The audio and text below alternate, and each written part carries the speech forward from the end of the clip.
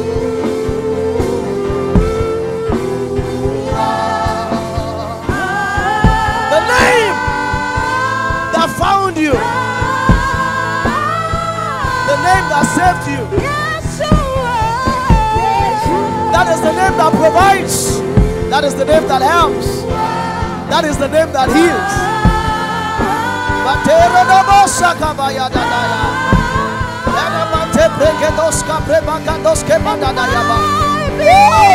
Manda libarosa de baladosa. Ela baradikobi atele mekese barashataba. Yeah, yeah, yeah. Menekeso de brembadosa de baradosa. You are beautiful for all situation.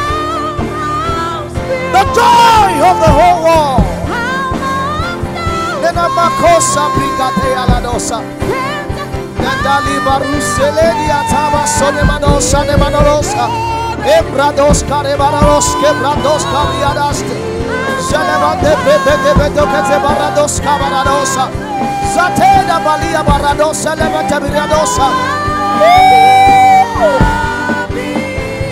Ande baraste. We thank you, Jesus.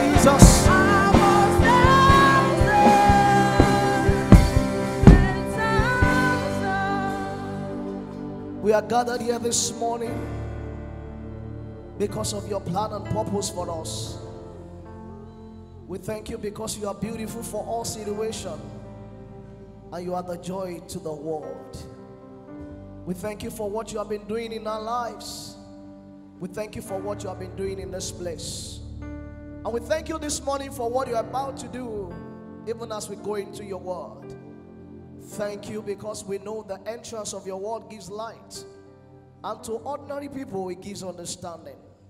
We thank you because we are called together this morning so that we can eat at your table and be fed of the bread of heaven. Spirit of God, let your word distill into our spirit. Let it bring instruction. Let it bring correction. Let it be direction. In the name of Jesus Christ. Let the word of this morning be the answer to someone's prayer. In the name of Jesus Christ. Let the, the word of this morning bring the healing that a man and women who are gathered here this morning have been waiting for. Let it be the help of our lives. In the name of Jesus Christ. Let your word put our feet on a straight path this morning. That everyone will leave this place rejoicing as one that found a great spoil at the teaching of your word this morning. In the name of Jesus Christ. I yield my mind, my emotion, and my will to you, Holy Spirit, that as vessel this morning, you will pour yourself out into every one of us and we'll have more of you. We'll have more of you. We'll have more of you in the name of the Father and in the name of the Son and in the name of the Holy Spirit. Thank you, Elohim. In Jesus' mighty name, we have prayed. Can we say a beautiful amen? Hallelujah. God bless you. You Can have your seat in God's presence. Thank you. Please come put our hands together once one more time for the choir this morning. Hallelujah. God bless you. Amen. I bring you greeting this morning from our Father in the Lord, who in wisdom, I thought it fit that um, resident pastors of all our churches exchange their pulpits uh, on this occasion. That's what brought me here. And I believe that when they call the first timer after I'm done, I have to move from where I'm seated presently to the first timer seat, right? Because this is my first time here. Let's celebrate Jesus. Hallelujah. Praise God. And even though this is my first time here, um, it's not my first time with the set man here. Uh, we've been friends for over a decade. Uh, yeah, for over a decade. Uh, is worth celebrating. Please put your hands together for Jesus.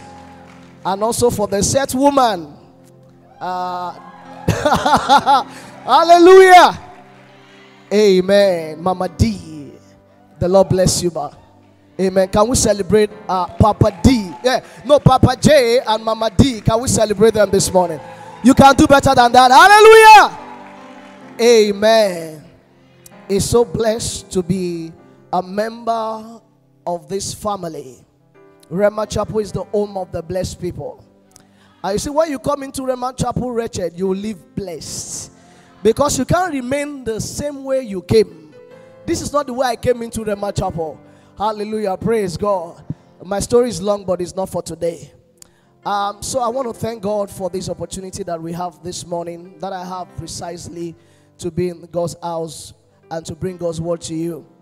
Of course, I have to thank our Father in the Lord for what He is doing in the body of Christ. It's a tremendous, it's a great blessing to every one of us. I know some of you, you've never met Him or have any connection or contact with Him. But you see, you have been blessed just being under this umbrella and you see it's worth celebrating. So this morning I want us to put our hands together for apostolic oversight. The apostle of God's word to the nation, Reverend George Adegboye. Please, you can do better than that. That's not how we honor our fathers. You can do better than that. Hallelujah. Amen. As well, I want to thank God for Mommy Faith. Uh, this is a woman who had modeled a lot of things for many people. Uh, you may meet her quiet, but that quietness is loaded. Um, she's the author of Strength for Today, and she's the vice president of this ministry. And you see, where you see a man that is doing well, there's a woman beside her, not behind. Sorry, there's a, a woman beside him, not behind him. You know, before he's always behind. We say, oh, the woman is, but you see, he's beside. Hallelujah. And so I want us to celebrate our mother in the faith this morning, uh, Reverend Mrs. Oloruntoyin Adegboye. Please, you can do better than that. I expect the sisters to do better than the brothers. Hallelujah. Amen. And I believe I'm among the young people. Praise God. Also, this morning, I want to appreciate my, my brother.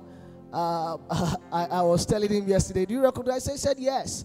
How many of us were there at Ibadan last December? Hallelujah. Oh, it is well. Praise God. And that's not that person, but another minister in the house this morning, uh, Minister Sam. Please, can we put our hands together for Minister Sam? Kusoko, the Lord bless you. Uh, Mama could not come today, of course, because of the nature of her work. Please, my greetings to her. The Lord bless you. Thank you for what you are doing here. The Lord will continue to send support and aid for your own destiny to rise in the name of Jesus Christ. Hallelujah. This morning, also, I'm bringing greetings from Rhema Chapel, Muritala Church, um, Ilorin. Uh, I want to thank God for what God has used them to do in my life. You see, I used to tell them anytime I get to church, you used to think, oh, the pastor is here to bless you. But you are equally in church to bless the pastor. I've been shaped in so many ways. I've been panebited. I've been, you know, made because they are there. I'm better today because of the privilege I have to be there. And I want to thank God for them. I want to thank God also for my wonderful wife. I would have been here this morning together. Uh, for one good reason or the other, she can make it. So we thank God. Um, and I'm bringing you greetings from these people. The Lord bless you all in the name of Jesus. Don't worry, your man of God is going to return shortly. He's also somewhere uh, giving them apostolic blessing. uh, yeah, because I believe this is the apostolic arm of ever increasing word ministries. Do you know what I'm talking about? Are people here this morning? And I believe everyone here is an apostle. Turn to your neighbor and say, Apostle. Call their name Apostle. Uh-huh. Uh-huh. Hallelujah. Praise God. Praise God. So quickly this morning, let's go into the business of God's word. Of course, we can't be gathered here this morning if God had not permitted it. And all the glory back to Him. And that's why, of course, in my spirit, I just felt we need to sing that song one more time. Because without Him, we are nothing. Absolutely nothing. No meaning, no life. Yeah. Galatians chapter 6, verse 10. Galatians chapter 6 and verse 10. The Bible says, As we have therefore opportunity, let us do good unto all men. Somebody say with me, all men. Especially unto them who are of the household of faith. For the minute I have this morning, I'll be speaking on the subject the best use of opportunity. The best use of opportunity. Uh, I know it does not sound apostolic. Praise God. but uh, you will find apostolic message in it. Uh, it all depends on the angle from which you are looking at it. The best use of opportunity. As I begin here this morning, the word that God gave us as a ministry this year to guide us and to raise our expectation of, as to what we should look forward to see in our lives or experience is the word soaring. This is the year of soaring. And I know many teachings have come from our set man here on soaring. I tried to follow up with last week's service on the winds and the wing of the Spirit. Hallelujah. Praise God. Praise God. And um, if I will go into that again this morning, uh, it will be as if I want to repeat my apostles' message. But I just want to emphasize to you that this year you should expect nothing but soaring. That is the prophetic word. And you see, anytime God sent a word like that, He had already sent the provision to bring it to pass. I was telling them in church some month back, January precisely, I said, mark this statement. I never knew that the bag of rice, the cost of things, are going to go up that way. When the Lord laid in my heart to teach on positioning yourself for soaring. Because you see, if you don't rise, things would not but rise, even if you are not rising. So you have to rise. And so the word for the year soaring is it makes more sense to many of us now than before. For some people, from the negative perspective, because things have soared. But things do not, storms do not get egos unaware. They are always prepared before time. They see the storm and they know what to do. They know how to respond to it. So they, they are not laid back because there is a storm. They use it as an advantage to change their level. So this month also as a ministry, of course, every month God also give us a guideline, a light to guide our feet and to guide us in the path we need to walk. And this month is the month of abounding opportunities. And that is what is bringing about the teaching of this morning. The best use of opportunity. There are two major things that God is committed to. Let me quickly share them with you before I go on here. Two major things that God is committed to. Number one, God is committed to His word. Whatever He says is bound by it. Jeremiah chapter 1 and verse 12. Then the Lord said unto Jeremiah after he had asked him, What do you see? And then he said, You have seen well. You see? And then he made a statement. I would see this, this kind of words are the words that gives me the confidence that promises will always be fulfilled when they come from above. Not from the organ at the top. Because the government does not have the power to fulfill their own promise. But God has the power to fulfill his word. It can bend the protocol. It can change the time and the season. Because his word must come to pass. And so he told Jeremiah, I watch over my word to hasten it, to bring it to pass. To bring it to pass. So God is committed to his word. And I, I want to say this on this note that as a Christian, as a believer, especially the young faces I'm looking at this morning, the best thing you can do in your life to help yourself to get to the level God wants you to get to is to commit yourself to the Word of God. You can't be committed to something that God is committed to, and God will not be committed to you. It's not possible. I'm not a prophet or a prophet's son, but my commitment to God's word is bringing different manifestation out of this life. So you have to make sure that you are committed to the word of God because that is what God is committed to. God, the Bible says, God has highly exalted his word. For God, of course, when my young man was pray, um, praying, leading prayer this morning, I was talking about Jesus. He was talking about the word of God. And God has highly exalted his word because his word is what binds him to act. So be committed to God's word. The second thing that God is committed to, the major things that God is committed to this morning, is that God is also committed to his work. To his work. The things he do. He's committed to what he says and is committed to his action.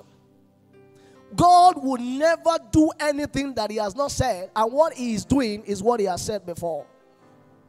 So God is committed to what he does. He's, he's bound to his work by his word. If you expect God to do anything in your life, expect him to speak to you. All you need is a word from God. Because once the word comes to you, the Bible says he watches. So even when you have forgotten about it, God will never forget.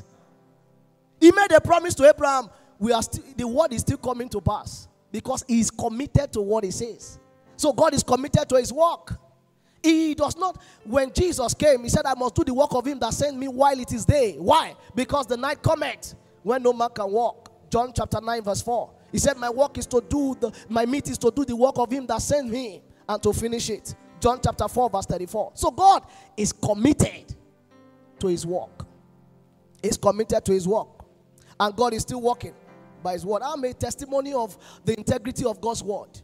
And so I'm saying that to give, to give you an appetizer and to prepare your heart so that you can receive something and take it home with you, with you this morning something that will shape your destiny, something that will help you, something that will add to the things that you already received from this pulpit, that will also help you in the journey of life. So this morning I'm speaking on the best use of opportunity. I'll continue by saying this this morning about something that you will always have, whether you are born again or you are not born again, whether you are rich or not, whether you are educated or uneducated. One thing, as long as you are alive, excuse me, and as long as you are breathing, one thing you will always have is opportunity. You will always have opportunity.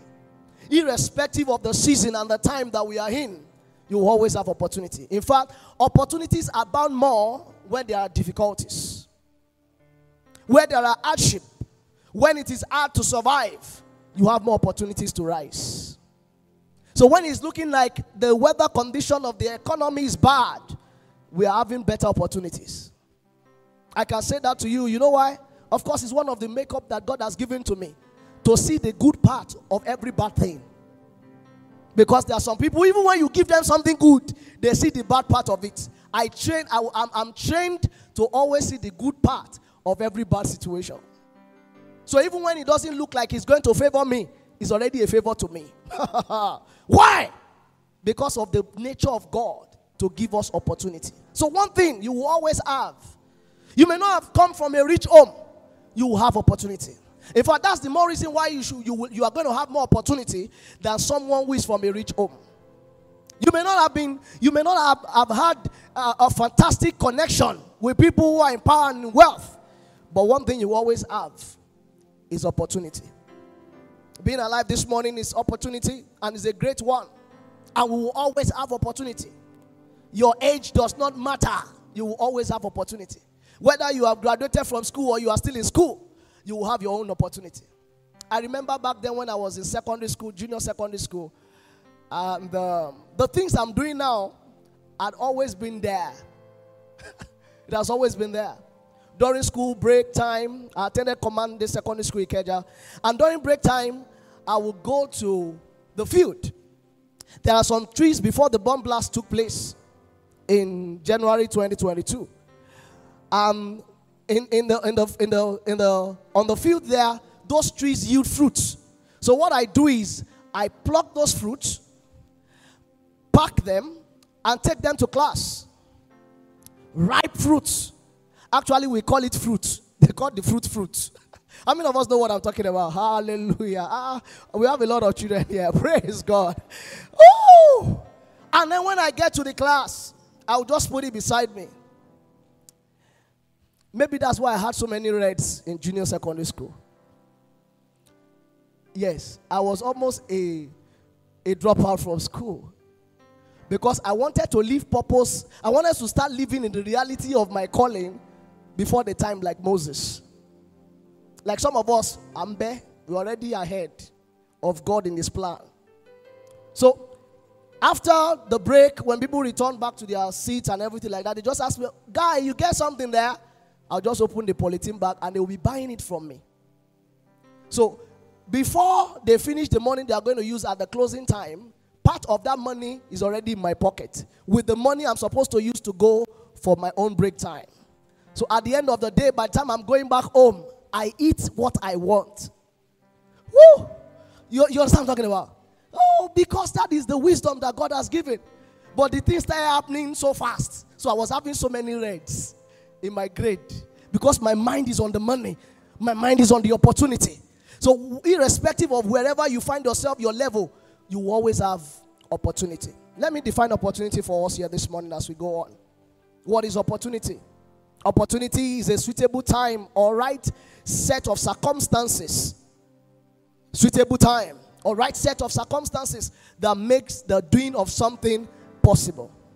When the time is set and the time is right to achieve what you want to achieve, to, to achieve your goal and attain your goal, it is called opportunity. It's a chance for you to do something successfully. Successfully. Right now, where you are, with whatever you are doing or you have to do, there are opportunities that are ripe for you to do some certain things successfully.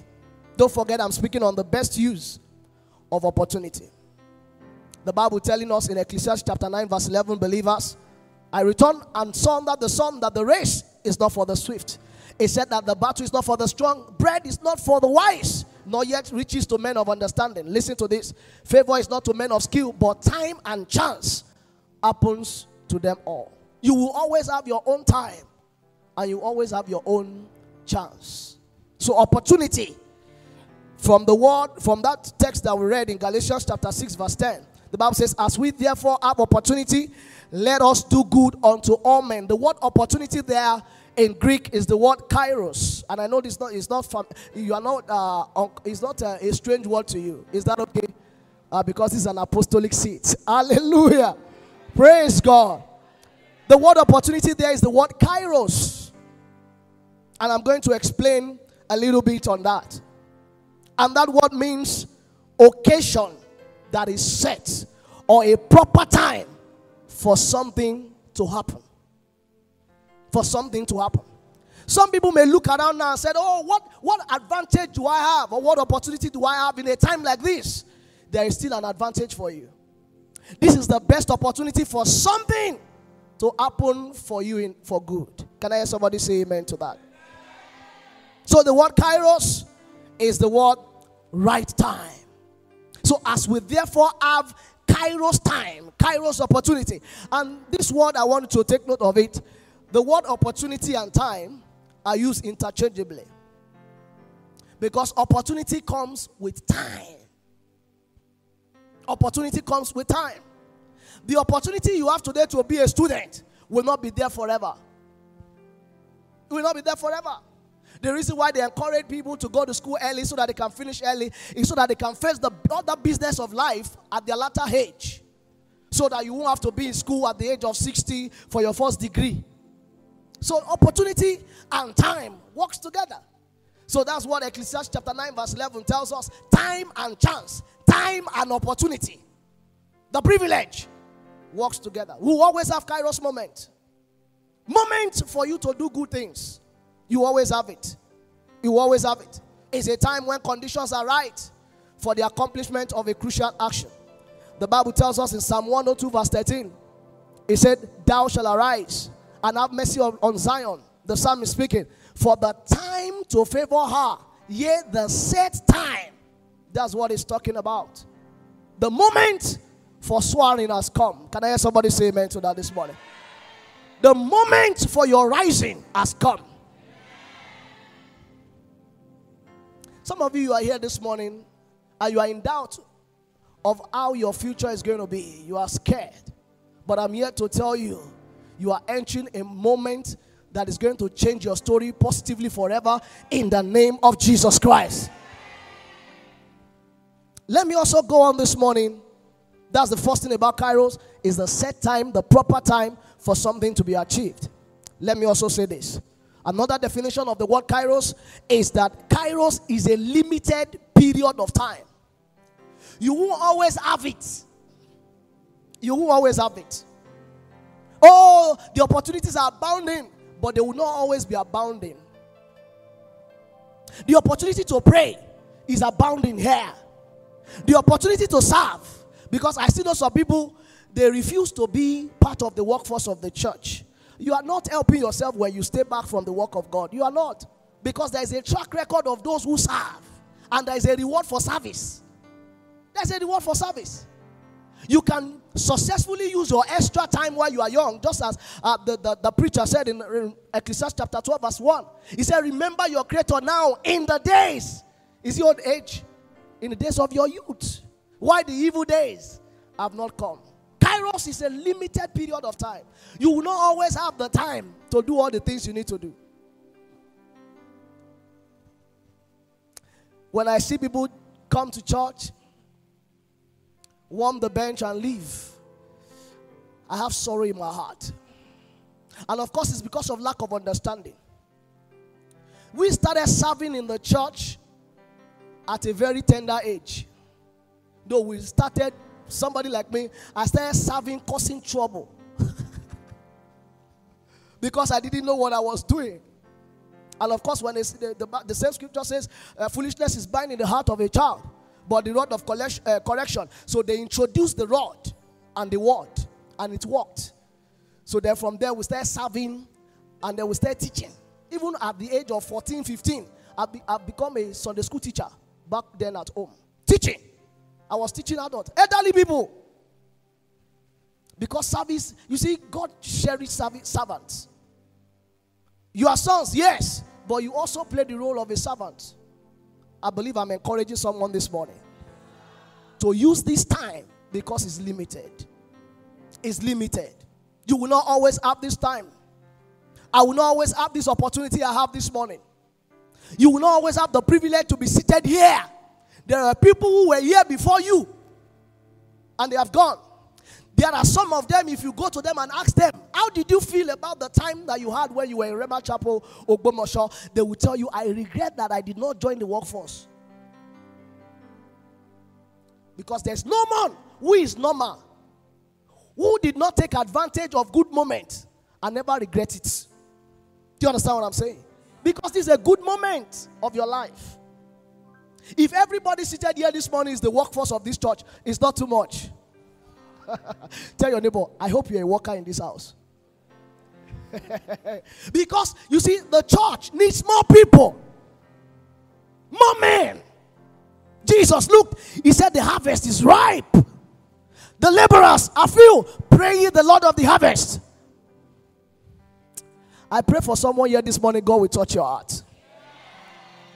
And God will not just touch your heart, God is going to turn your heart. So that what you need to do, you will do it now. Because the time will not, will not always be there for you. It will not always be there. And that is why Ephesians chapter 5, verse 16. Ephesians 5 16, it says, redeeming the time because the days are evil. Redeem it. We are in an evil day. The time we are in is an evil time. I'm going to read another translation. He said, These are evil times. So make every minute count. That's what the contemporary English says. Make it count. Don't waste it. Don't destroy it. Don't underutilize it. Eh, it's because I'm in, a, I'm in school. That's why I don't have time to serve God. That's not the reason. That's not the reason, young man. That's not the reason, young woman. There are people who stay in school 24 7, and when they are leaving school, they live from the bottom, they did not live from the top, even though they were reading 24 7. And there are people who God is their head and their lead and their guide, and He will always bring them to the place where wisdom lies. And when they read, they read, they understand. And they read the mind of the person who is setting it because the mind of the person who is going to set the exam is in the hand of God. Am I talking to someone this morning? Make good use of every opportunity. Good news Bible says. Ephesians 5:16. Make good use of every opportunity you have. Because these are evil days. Make good use of it. Don't look down on it.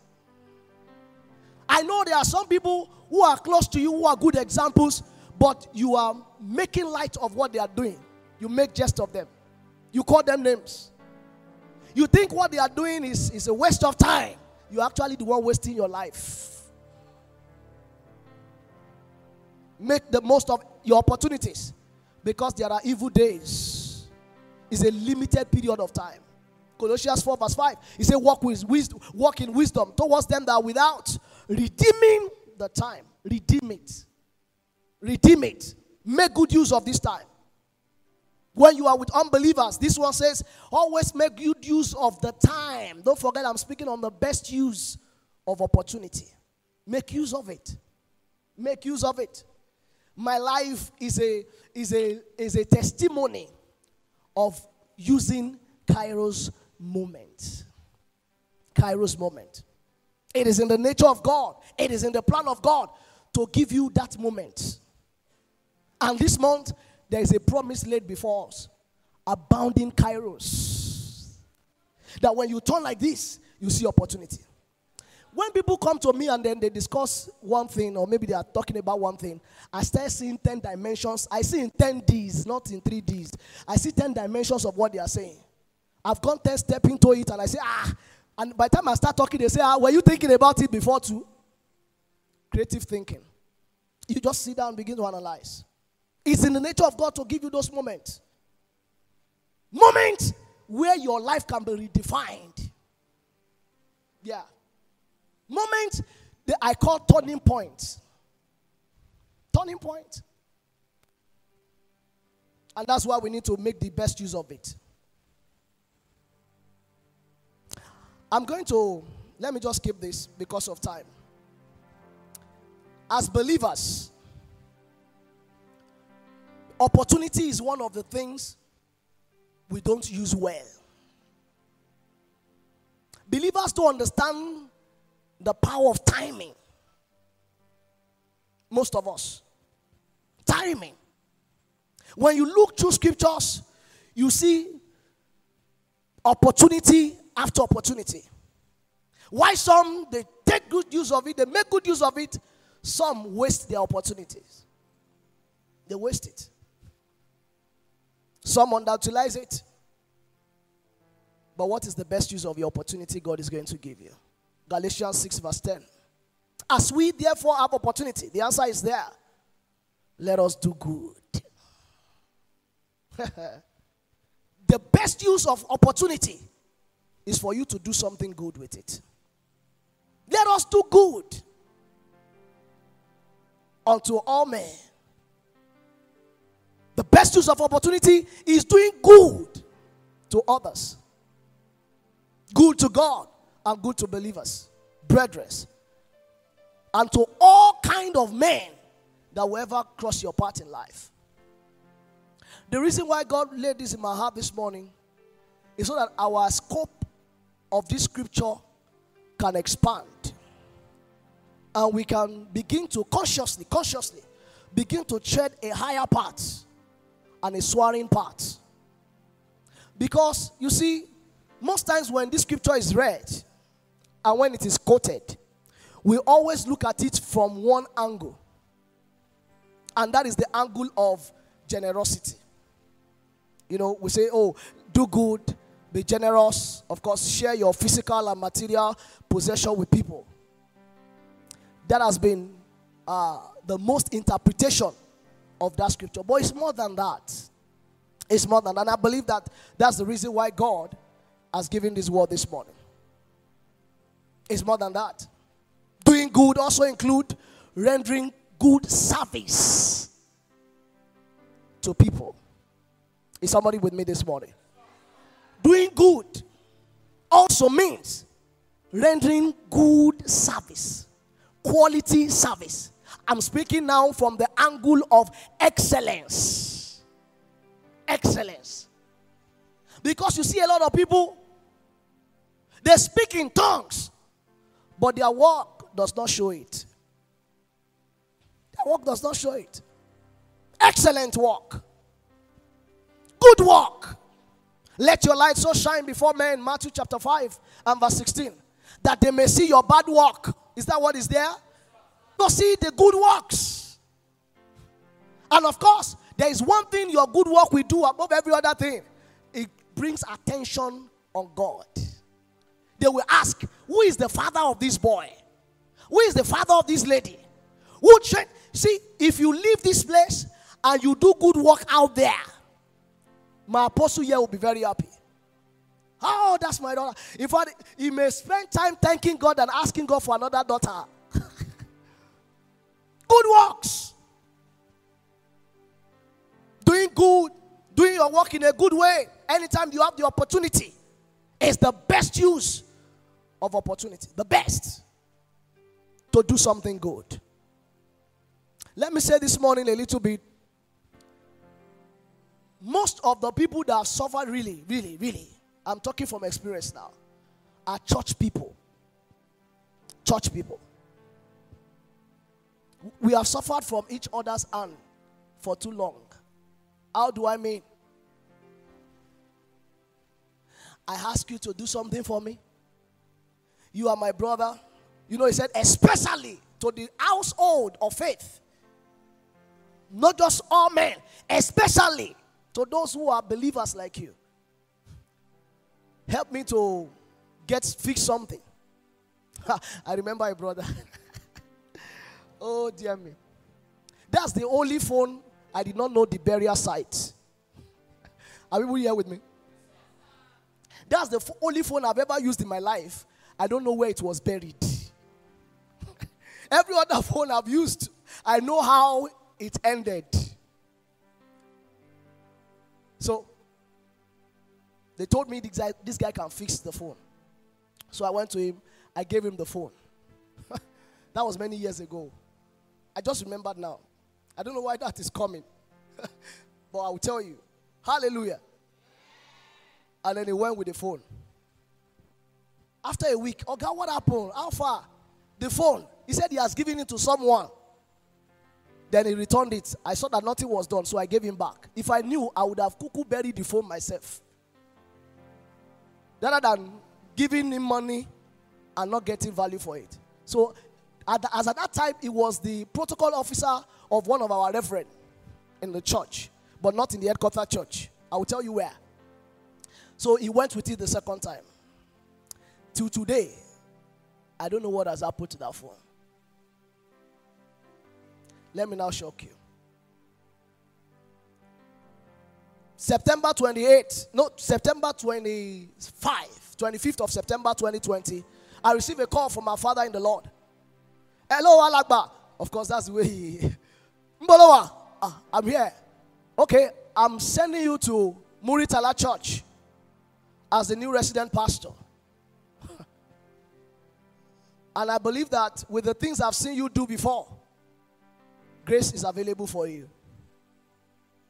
I prayed, I called him back. Before I got to that church, that brother had left. He left. He didn't leave because the person who was there was leaving, because there are a lot of people that are still there who were there. I never had the opportunity to meet him face to face. Of course, he knew that there is still something that he took from me that did not return back to me. Hurting people in the church.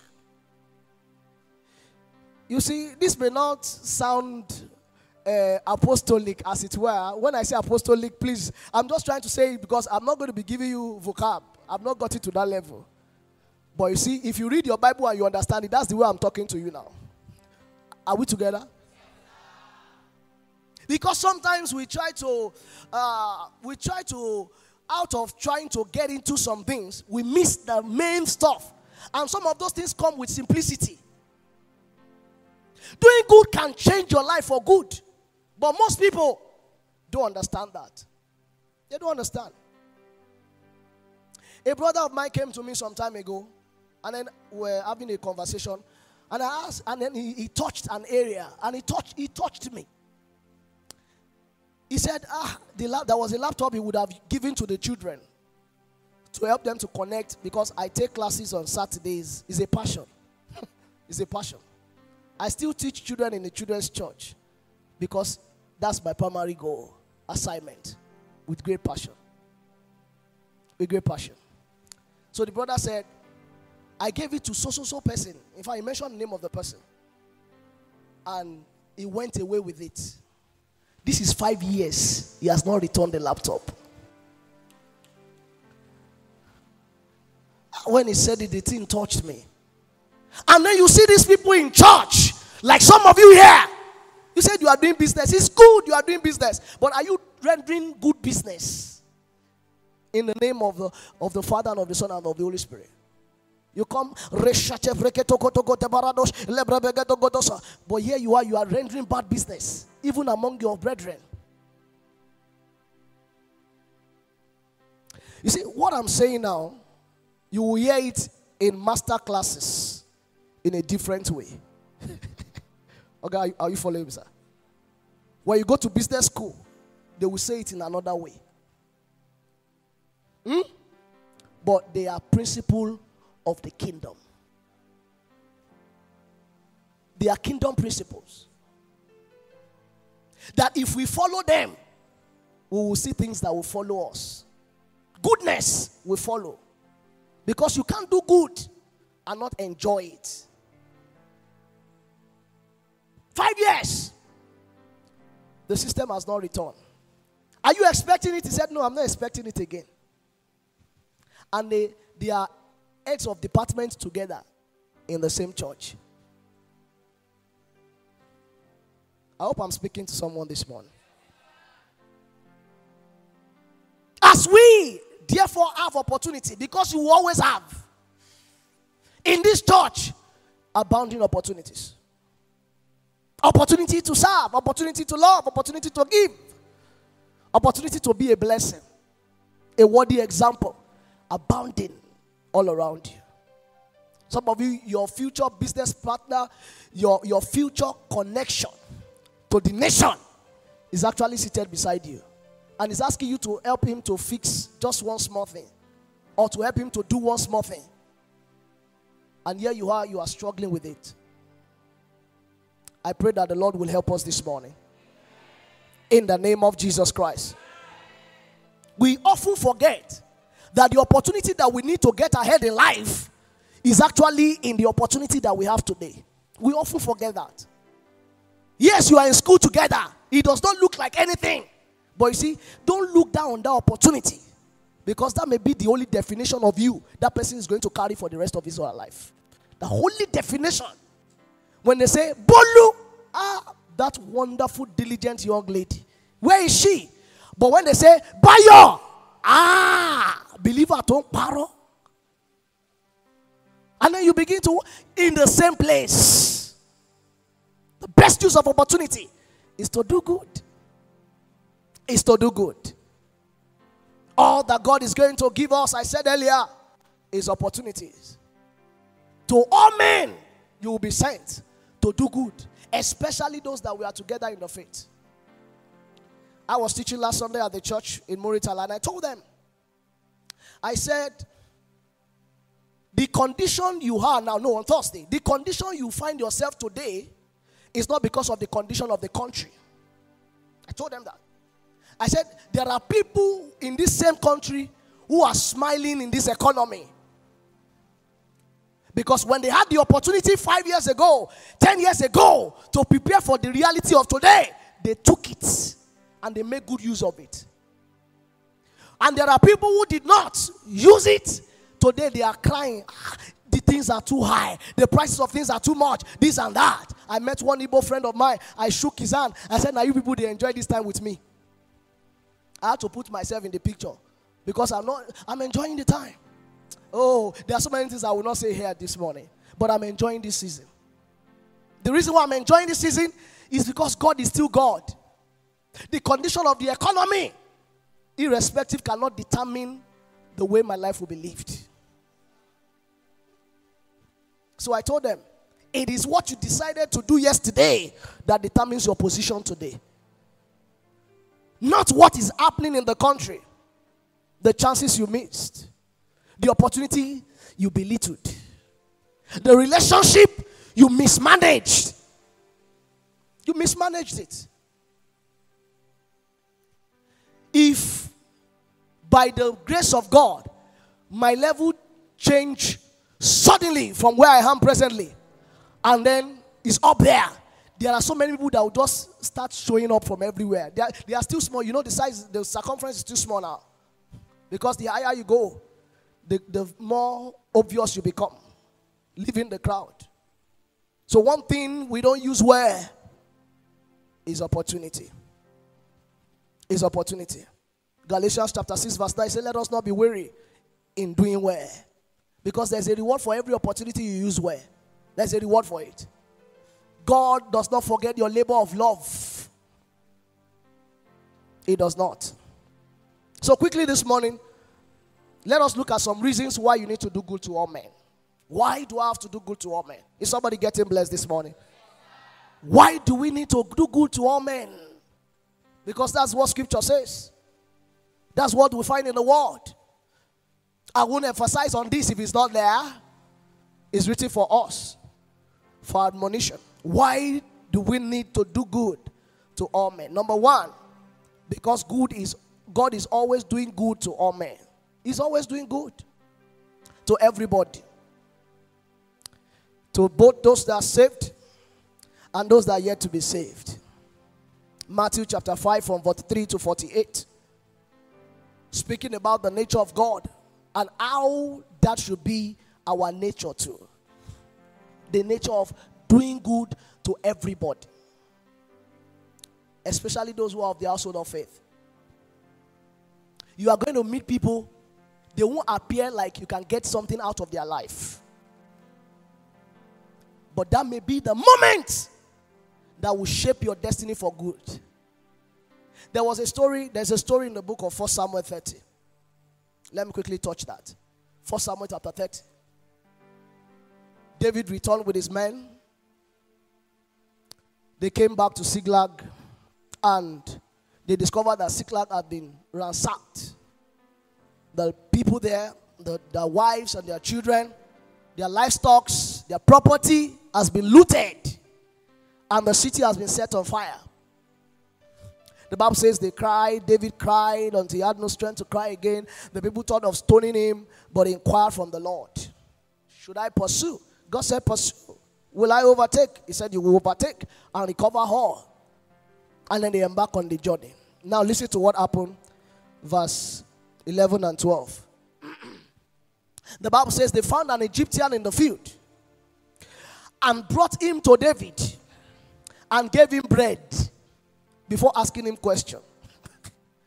and he did eat. And they made him drink water. And they gave him a piece of cake. Three things. They gave him bread. They gave him water. Of course, if you give somebody bread and water, it should be okay, right? Hello? That should be okay. In this kind of economy, you feel give person cake and bread together. Eh? You can't. Because even cake has been divided into two. You eat some cake right now, you eat some bread right now, you say, Oh my, my. Oh my. And two clusters of raisins making four. That's what doing good is. Now see what happened. And when he had eaten, his spirit came again to him, for he had not eaten bread nor drink water for three days and three nights. And then after he had received strength, they now ask him, Who are you? and then he started talking. Maybe he wouldn't be able to talk. Maybe the time they are asking him to talk before they give him bread and water, the guy will collapse. and they will have to look for another GPS because at that time, that guy was their GPS. The place they are looking for, where they are going, this guy carry him is inside of him. There are people, they may not look like helpers, but they are meant to help you. Oh, am I speaking to someone this morning? Because I've met people who never look like anything, but they've done too much for me. Too much. And so he started telling them, I'm a servant of an Amalekite. We went to Ziklag and we ransacked it. We took wives, we took children, we took things. But I was sick. And my boss, that's a very wicked boss. he missed, you see, oh, glory be to God. Is somebody learning something this morning? The opportunity you miss is somebody else's opportunity. The boss missed an opportunity to be a good boss. That was his mistake. That was his mistake. He might have, uh, David and his men would have had to use more strength and energy to locate them. But it came so easy because he failed to be a good boss. That boss is not honorable boss. Kilode, one person, they said they left him to die because he was sick. How many people in your department have you left to die because you discovered that they are living in sin? There are people who stop coming to church and we never go to check on them. And we say church is not growing. we left them. We left them. And so he told David everything David knew, needed to know. He, he rewarded goodness. Instantly, there. The Bible did not record that that man was killed.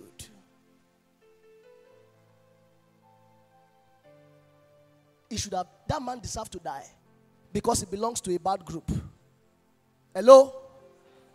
But David, a man after God's heart, saw an opportunity to do good. To do good. It's good to be good. That is what God does. He's always doing good to all men.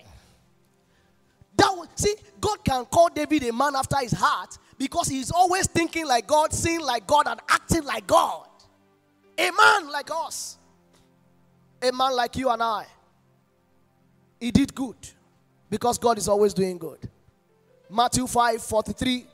You have heard that has been said, Thou shalt love thy neighbor and hate your enemy. But I say unto you, love your enemies. Bless them that curse you. Do good to them that hate you. And pray for them that despitefully use you. That's the best use of opportunity. Verse 45 That you may be the children of your Father which is in heaven. For he maketh his sun to rise on the evil and on the good, and send rain on the just and on the unjust. God is always doing good. God is good all the time. He put a song of praise, you know. He's always doing good. That's why we need to do good to all men. You were somewhere before you got saved. For God so loved the world, He gave His only begotten Son.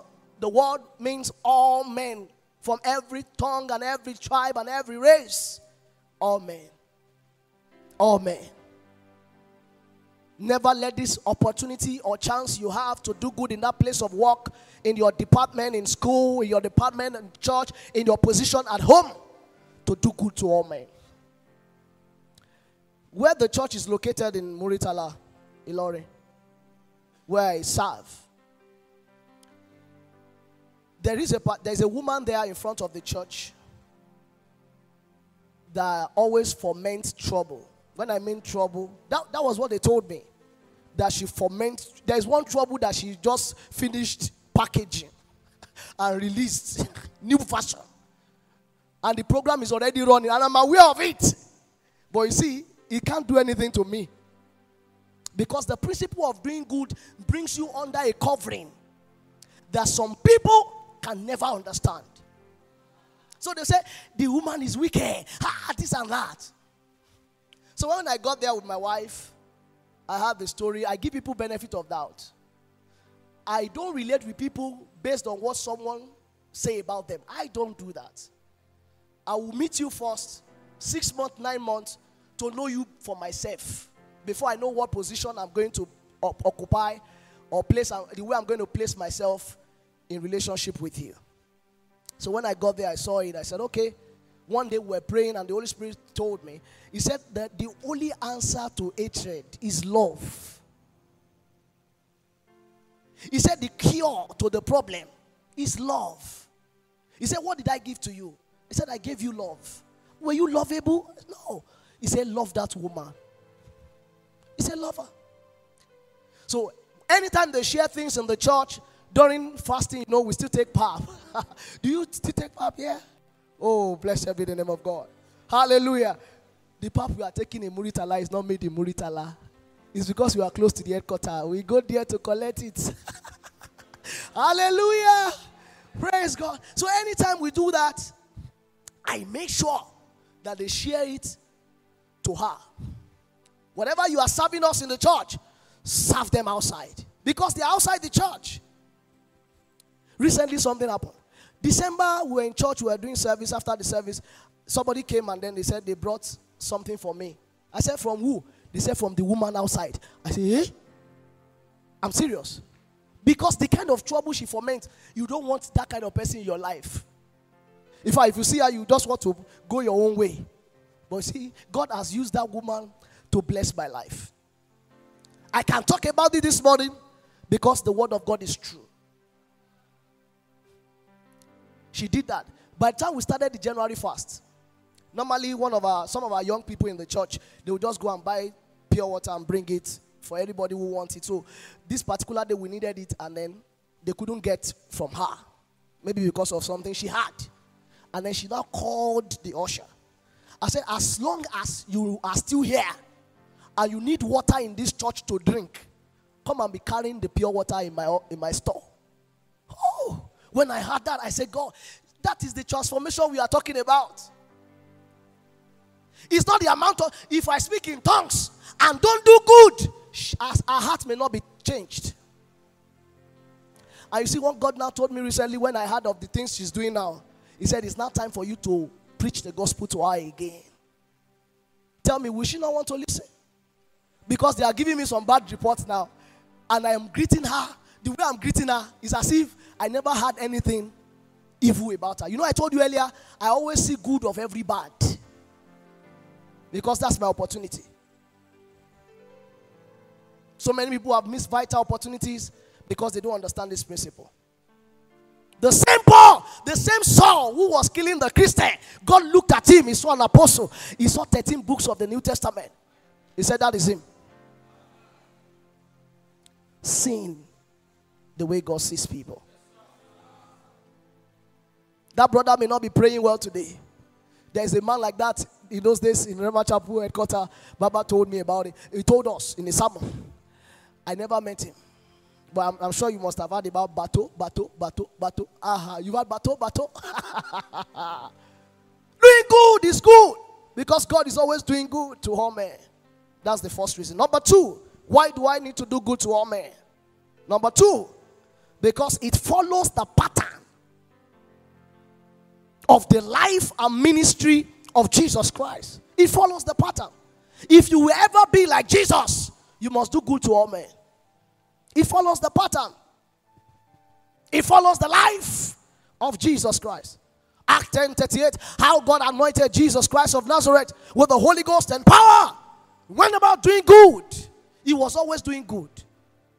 Luke 22, when they came to pick him at the Garden of Gethsemane, Peter drew his sword, cut off the ear of a servant of one of the, of the high priests.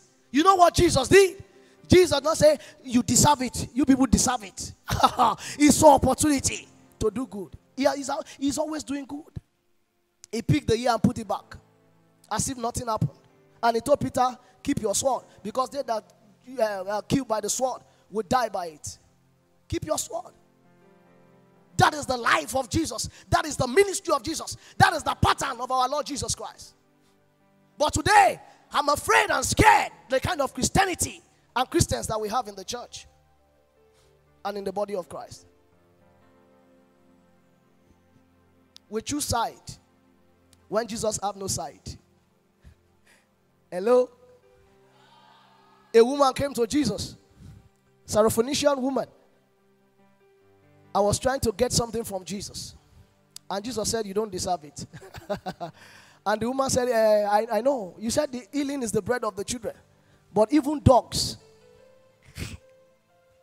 the woman put herself in a good position. And Jesus, of course. You ask me, was Jesus not going to do what? Was Jesus not going to help the woman? No. It's a moment to reflect his power, supremacy, and his grace to extend to anybody. Anybody. Anybody. And that's why you see some people, they never call the name of Jesus and they are rising. And they say, ah, why is God doing this for this person? He's not doing my own. is the pattern on the life of Jesus and his ministry. Number three, why do we need to do good to all men?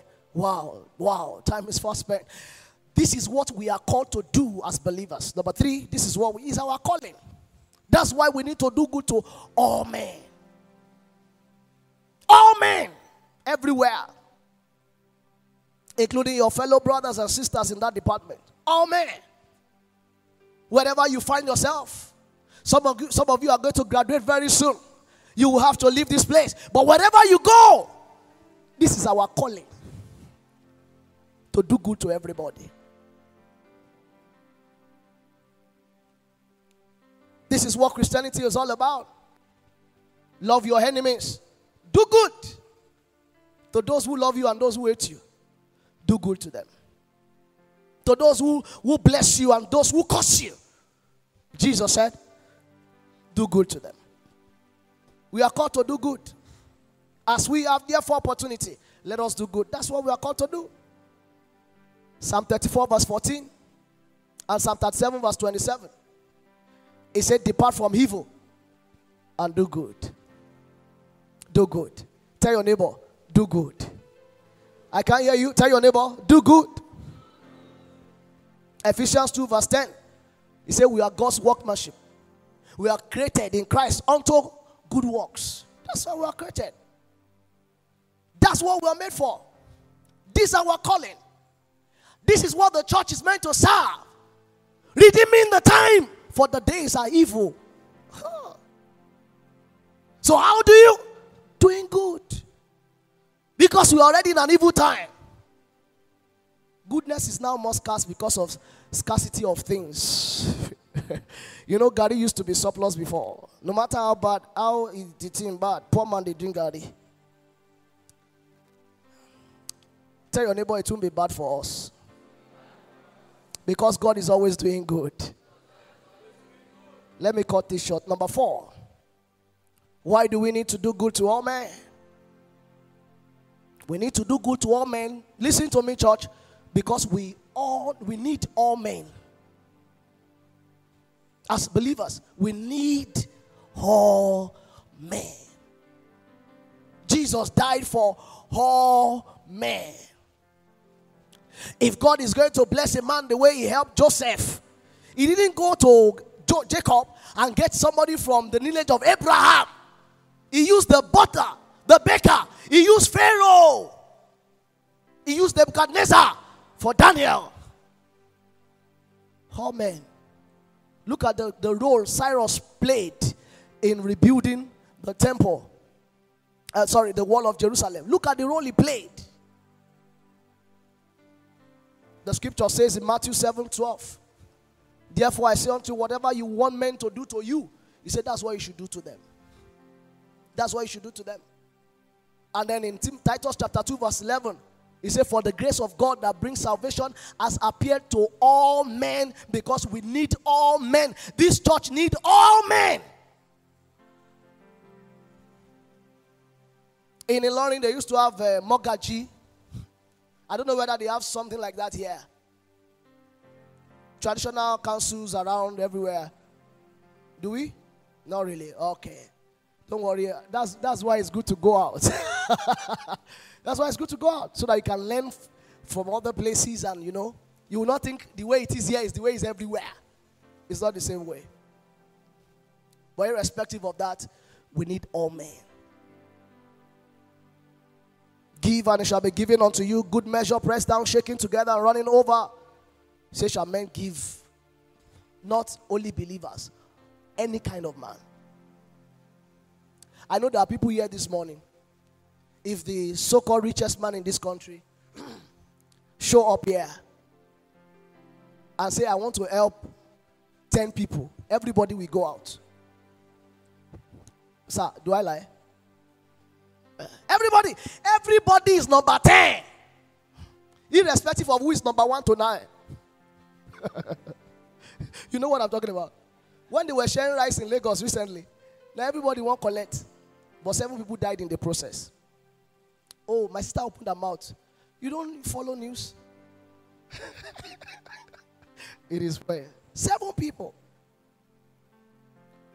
God uses all kind of men to get his work done. If God is going to raise you, he may not bring someone who is speaking in tongues. He may bring someone who is saying Allah Akbar. He may bring someone who is worshiping idol.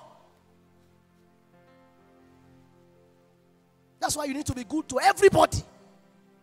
Uh, because my landlord is a Muslim, I, I, I, you have to do good to your landlord. You can't tell what God has placed in his heart to do for you. Let people know. See, he said, By this shall all men know that you are my disciples. When you have love one for another, love is doing good. Is doing good. In closing this morning, and thank you for your patience. Praise God. If you are going to be consistent, listen, in using the opportunities that God is going to bring in, that God will be bringing to you. Listen to this you need the Spirit of Christ. You need the Holy Ghost. You need the Holy Spirit. You need the fullness of Him. You must come under the influence of the Spirit that led Jesus while He was here. While He was here.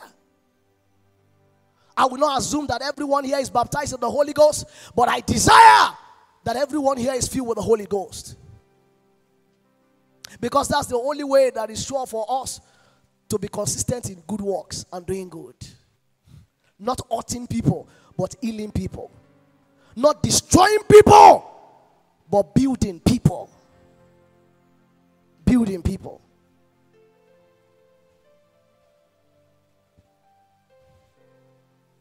Galatians 5:22.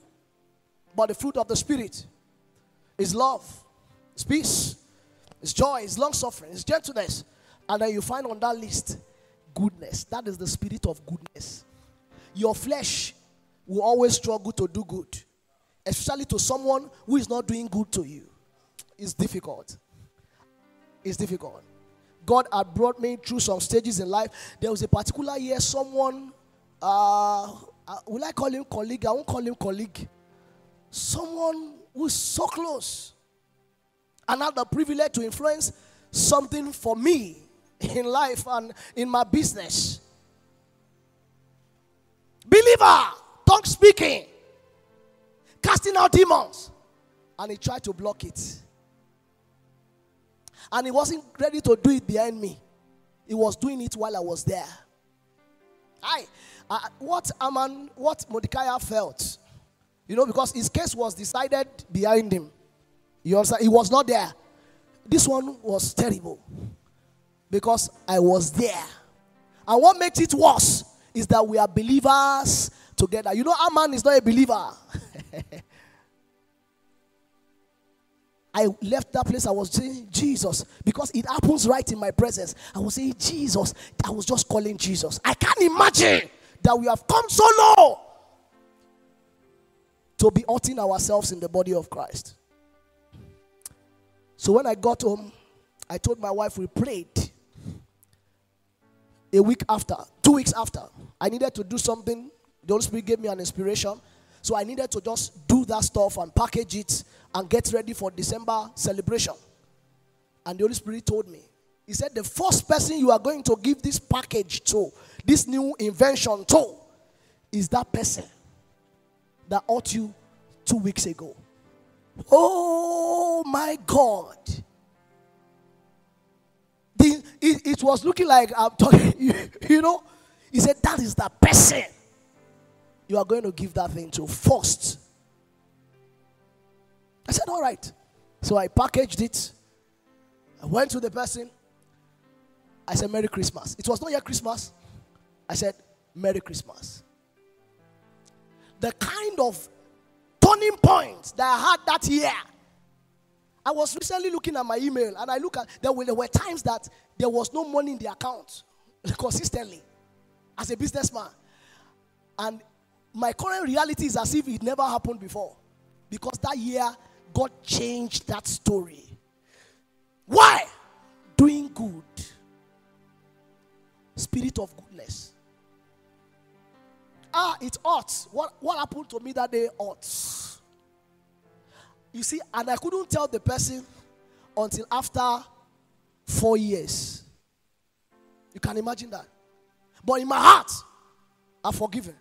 One day, I was called upon to come and preach in February about love at the headquarter church.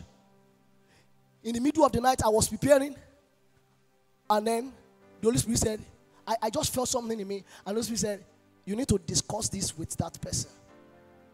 Ah, I said, He's higher than me. How can I be? He said, That's what you are going to do. That's why you need the Holy Ghost. He will step you into it, even when you feel you don't have the strength for it. It will elevate you beyond your natural physical limitations. And you'll be able to do what destiny is calling you to do. Because it's destiny. It's destiny. It can be hard with the flesh, but it is easy with the spirit. And that's what we are going to pray on this morning. The flesh, the flesh profit nothing. It is the spirit that quickens. John 6 63. The words I speak to you, they are spirit and they are life. By the Holy Ghost, you see, you can fulfill this mandate. This obligation, you can do it. You came to church, especially in the choir. oh. And then you see one sister. Recently, I, I, I had to sit with on a case and and they started telling me things, and I was like, "You can't imagine that." Don't let me go into it. The said, I noticed that anytime I'm singing, I'm leading, the, they, they don't back up where the person will just use his voice anyhow.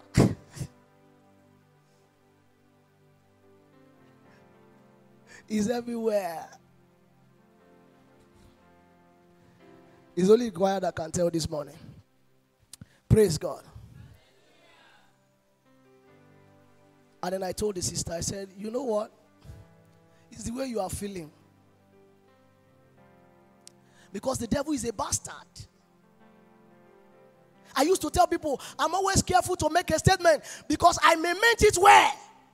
And the devil will go and register it and read the, the statements from the back. You know, he's a bastard. He's always at the back. And that's why Judas was an easy prey because Judas is always at the back. So if you're always at the back in the church, change your position.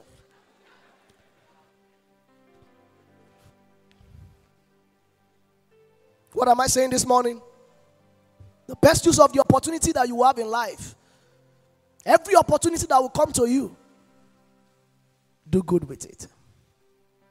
Let the mind of Christ be the mind you carry. Philippians chapter 2, verse 5. Let this mind be in you, which was also in Christ Jesus. The same mind. That's the mind you need. You can survive any economy, hardship, whatever. You can survive in that workplace if you are filled with the spirit of goodness. You will not be there, but they will fight for you. I've been there before. I've been there before. I would not be standing before you this morning if not for the help of the Holy Spirit. through the ministry, of, through the power of the Spirit of goodness. I want us to rise this morning. I want us to rise this morning. You will be able to help someone that did not help you when they could help you. You will. Spirit of goodness. When you help someone who failed to help you when you they could help you, what do you think will happen when you finish helping them? That's the best way to preach the gospel. You will never struggle to tell people about Jesus when they see Jesus in you. He talked to me badly, I will say my own back. It's not necessary when you have the spirit of goodness. People are watching every of your move, every decision you make, every step to take, every step you take. They are marking it. He called himself a Christian. Spirit of goodness. Please just lift up your hands this morning. And for, a, for just for a few minutes, I want you to talk to God. I believe you understand these things that God has shared with us this morning from His Word. I believe there is a portion of it that we need to work on. Just release yourself this morning and say, Holy Spirit, fill me up. I want to be full of you. Let the spirit of goodness let it be stirred up in my heart. Let me grow in your goodness so that I can use every opportunity you give me. Where? Best use of it. Best use of it. Best use of it. Because these opportunities, they are time bound, they will not always be there. They will not always be there. They will not always be there. Japrokezo kedamante. Zeproketo rakabali baradosa. Zefroke barande bekezo mante kedesha. Lebrakabada badekedosa. Whatever you do, Bible says, do good to all men. To all men. Go ahead and begin to declare this morning. From today, I'm doing good. In every relationship, I do good there. Whatever my hand touched to do, I do it well. I do it well. I serve well in that department. I do good in this church. Goodness is my nature. In the name of Jesus. Zeprekedo baradebekezotaya. I'm using the opportunity that God is providing for me to do good in this world. I'm redeeming the time by doing good. By doing good, by being a blessing, by being a blessing, by touching lives. There are messages you may not be able to preach in words, but you can preach them in action. You can demonstrate them you can leave them. You can leave them. This church will be as better as we become good in our walk with God, in our walk for God, in our walk with other people. I'm doing good. I'm doing good. Oh, Redabas. Masodemana mate shatabaladosa. Lebrabante masuke barakataya. Let the spirit of goodness be stirred up on the inside of us. Let it rest on us. Let it change the nature, that bad nature, that negative nature. God is giving someone a new heart this morning. The heart of goodness.